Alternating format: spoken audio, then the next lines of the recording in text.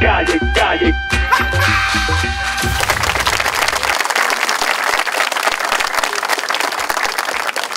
Ok, continuamos Coco. Vamos a ver si sabes mucho. ¿Qué te parece si hablamos en esta ocasión un poquito de orientación? ¿En serio?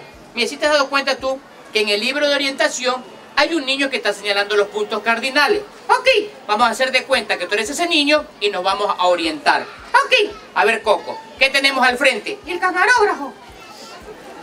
Al frente está el norte. Así se llama tan feo ese señor.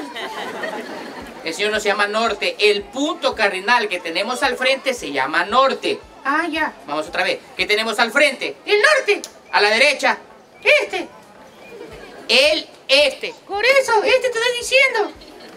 El este es otro punto cardinal. Ah, ya. Vamos otra vez. ¿Qué tenemos al frente? El norte. A la derecha. Este. A la izquierda. Este otro. Oeste. Este, oeste. Este, oeste. Decídete cuál mismo, este o este.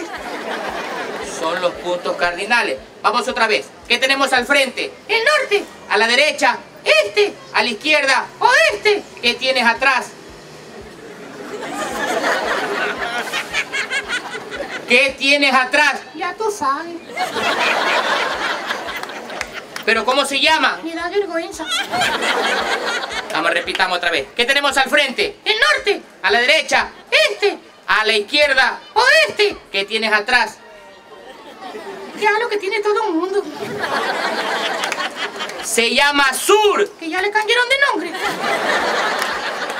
Estos son los puntos cardinales. Oye, que te cuento algo. ¿Qué pasó? Ahorita que venía, ¿Qué pasó?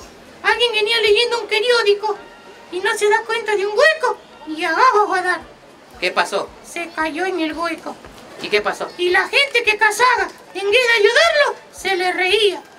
Ay, se le re... ¿Y usted? No, yo no me reía. Ah, eso está muy bien. No hay que reírse de la desgracia ajena. Claro, cazaba el policía, en vez de ayudarlo, se le reía.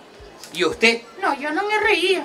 Ah, eso está muy bien. Cazaba una abuelita, hasta los dientes se le cayeron.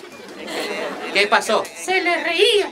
¿Y usted? No, yo no me reía. Oye, pero si todos se reían, ¿tú por qué no te reías? ¿Qué me voy a reír si yo era el que estaba en el hueco?